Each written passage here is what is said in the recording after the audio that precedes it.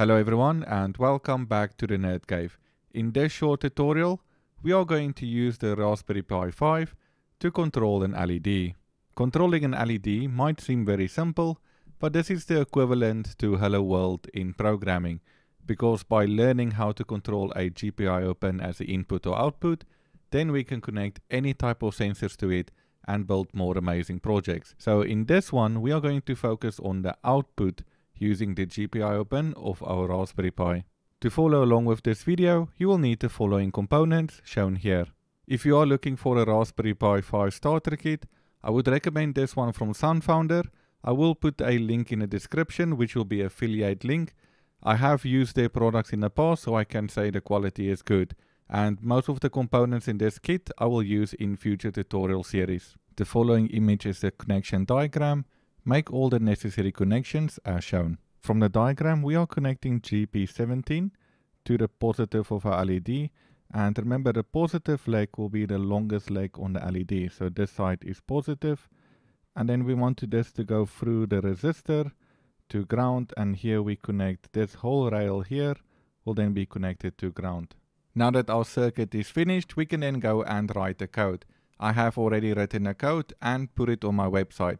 So let's quickly go grab that code from the website and then we will look through it. On your Raspberry Pi, open your web browser and then go to nerdcave.xyz. Then scroll down, go to Raspberry Pi and click on Get Started. Then go to Tutorials and go Tutorial LED Control.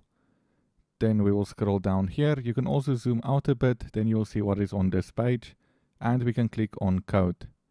And in here we can copy the code.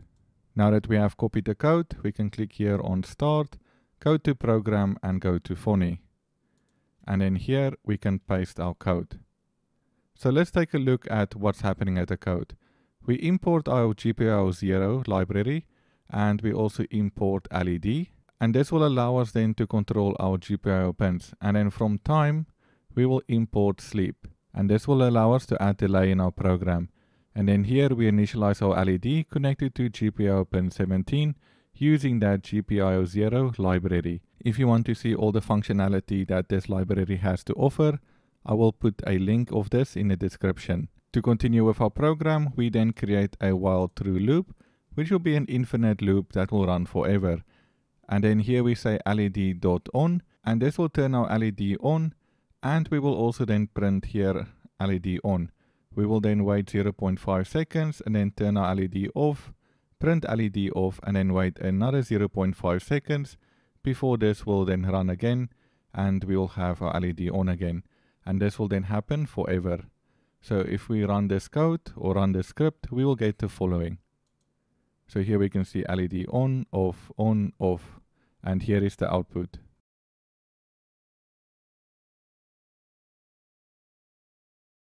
And that is how we can control an LED with the Raspberry Pi 5. Now, I know this is very basic, but as we progress, we will build much more complicated and cooler projects with the Raspberry Pi 5. I hope you enjoyed this video, and I will see you in the next video.